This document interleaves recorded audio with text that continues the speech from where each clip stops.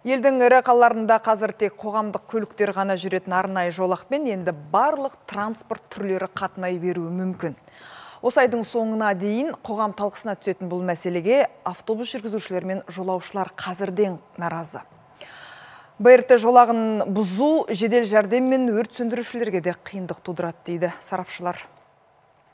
Жолдың қақ ортасына салынған аялдамаларға үш жыл бұрын наразы болған алматылықтар мен автобус жүргізушілері қазір БРТ бағытымен қатынауға әбден үйреніп кеттік дейді. Сондықтан қоғамдық көлікке деп арнайы жасалған жолақпен өзге транспорттың қабаттасып жүргенін құптамайтындықтарын айтып отыр. Мысалы, елдің бәрі жұмысқа асығып келе жатыр ғой, төмен жақтан.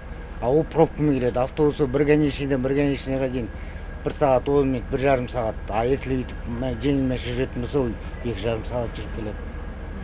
Мынау жақсы еді негізінде. Ол енді ол кезде кішкене пробка создавать етіп не болады ғой? Таксилар неғған кезде сөйлесіп тұрады да ол деген екі үш минут уақыт алады да.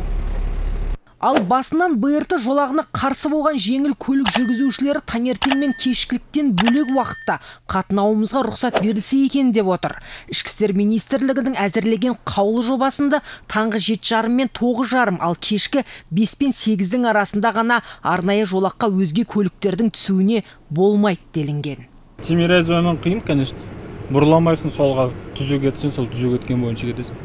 Пока сейчас нету, карантин біткеннен кейін пробка болады по-любому не тығыз қой не орын по любому керек бізге ол Сарапшылар арнайы жолақты күндізгі уақытта өзге көлік жүргізушілерінің пайдалануы әлемдік тәжірибеде бар дейді. Бірақ пик сағатынан бір минут асып кетсе екінші жолға өту мәселесі сөзсіз қиындық тудыратынын айтады. Оған қоса онсыз да тар жолдағы көлік тығынынан жедел жәрдеммен өрт сөндірушілерді өткізуде кедергі келтіретін үкімет қаперде ұстауы керек деп отыр безусловно количество міндетті түрде жеңіл көлік жүргізушілеріне салынатын айыппұл көлемі артады. Сондықтан азаматтарға бір ай бойы алдын ала түсіндіру керек. Ал жолдың ортасындағы аялдаманы қайта алып тастайды ма? Ол жағында дұрыстап пысықтау керек. Мүмкін қытайдағыдай жол үсті өткелдерін жасау қажет болады. Өйткені қазір жаяу жүргінші жолағымен өтетіндер ақ кептеліс тудырып жатыр. Біздегі популист басшылар мәселені жан жақты қарастырмай жатып шешім шығарғандарды жақсы көреді де тұрады.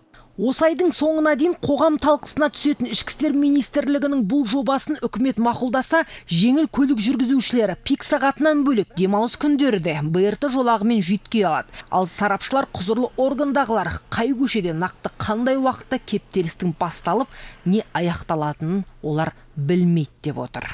Әйгерім Ердәулет Думан Сүлейменов, Информбюро, Алматы.